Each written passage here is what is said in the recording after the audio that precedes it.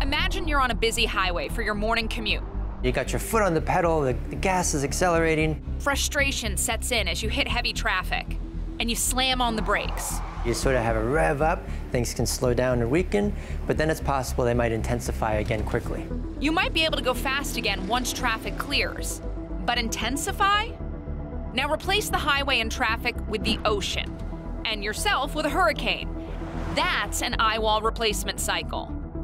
During an eye wall replacement cycle, this outer eye wall develops, which then causes the inner eye wall to weaken, and that will collapse back down and shrink to return back to a single eye wall. This whole process can take over a day. Hurricanes do not maintain maximum strength during these cycles.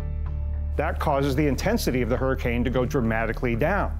But often, only temporarily, because once that inner eye wall is gone, now the outer eye wall can take charge. The eye wall replacement cycles, we know they look a little wompy on the air. That's the way that the storm maintains its intensification. You might have just as strong of a hurricane that you did before. But there's another method to the madness. Oftentimes, it's a mechanism for the storm to grow, so the wind field might expand in size.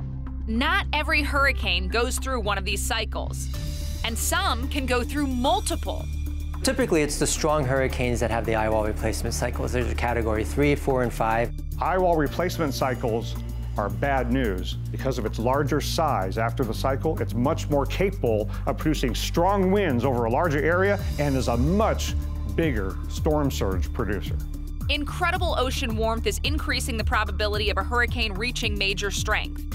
If you can get a stronger hurricane, then you're probably increasing your chances of seeing that eyewall replacement cycle. While one of these just before landfall can help weaken a hurricane's strongest winds, when the storm comes ashore, those stronger winds cover bigger area, ultimately impact more people, can mean more rainfall, can mean more storm surge. Um, so it's sort of a blessing and a curse when it comes to eyewall replacement cycles.